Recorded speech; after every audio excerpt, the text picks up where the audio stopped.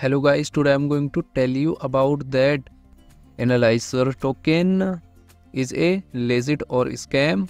Now before we start the video let's share my legal disclaimer. None of the information given in this video shouldn't be taken as a financial advice. Please make your investment according to your own research.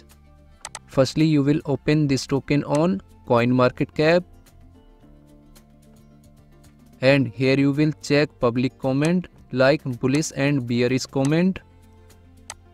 Now here you can check every comments in detail related to scam and copy this address. After that open dex tool and here you will paste address. Then you will open this token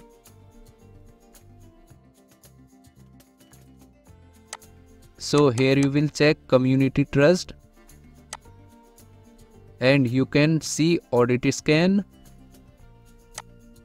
Now here you can check buying and selling transaction detail. After that go to CoinMarketCap and click on market section.